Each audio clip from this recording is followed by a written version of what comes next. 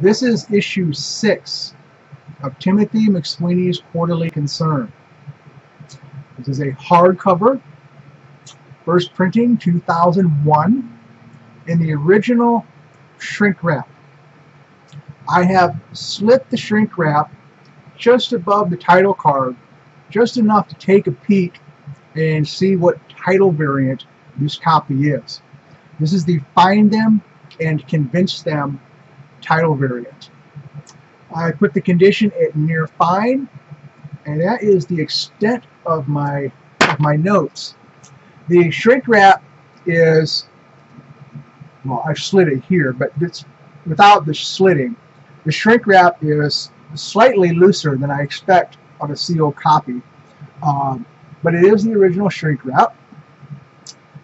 And when they sold these, the title card went over the front cover and obscured the title variant.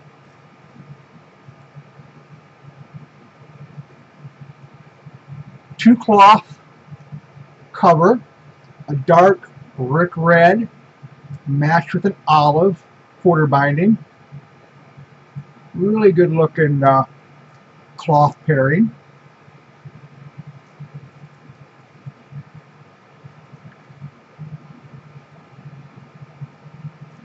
So, issue 6, original shrink wrap, near fine.